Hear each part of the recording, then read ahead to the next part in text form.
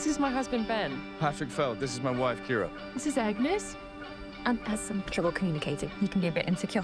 Nice Vespa. Yeah, isn't she? You should try. Yeah, we. I won't call the fun police if you don't. Okay. Io lo so che mi chiami anche da diversi fusi orari. Ieri siamo stati esagerati. Back before I quit my practice. You're a lawyer. Doctor, listen, you have to come and visit. Yeah, that'd be great. Yeah? Yeah. Done.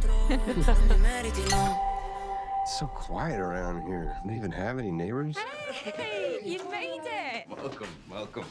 Ta-da! You are VIP guests. Just to remind you, I'm a vegetarian. Our gift to you. That is so. I'm. Louise, doctor's orders. Hmm. Very good. Settle in. I promise you guys, it could be a great weekend. How long's it been? 17 years. 17 years. Wow. You get less for murder.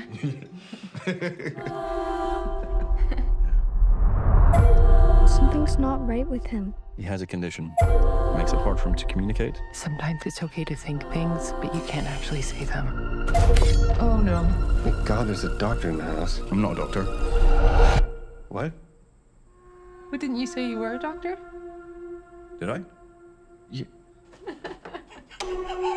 Look at their faces. Of course I'm a bloody doctor.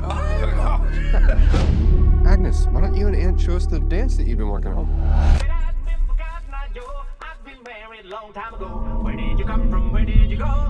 And what is wrong with you? Just feel the rhythm in your feet. Right, one, two, three, four. This is the one.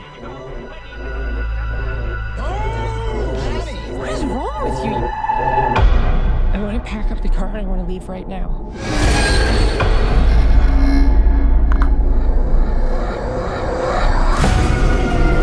I'm just sad to see you go.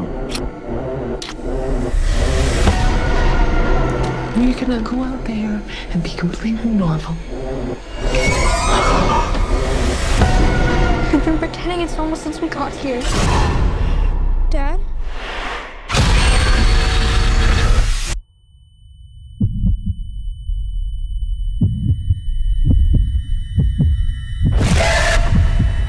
That time you guys came to stay?